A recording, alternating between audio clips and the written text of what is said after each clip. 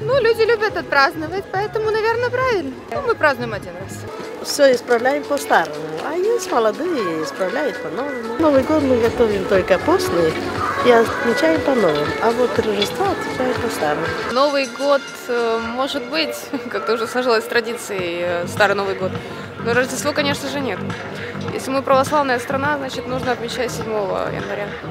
Конечно, надо отмечать со всеми. И отвечаем со всем миром, мы отвечаем традиционный, старый, исторический. Поэтому никаких конфликтов быть не должно. Почему бы нет? А вы отмечаете в семье два раза? И Рождество тоже? Нет, неправильно. А вы как отмечаете? По-новому. Новый год э, по традиции отмечается, ну как, это из-за Советского Союза по традиции он 1 января. Я не считаю, что это правильно два раза отмечать, но вот такие традиции у нас сложились в Молдавии. И это все благодаря Советскому Союзу.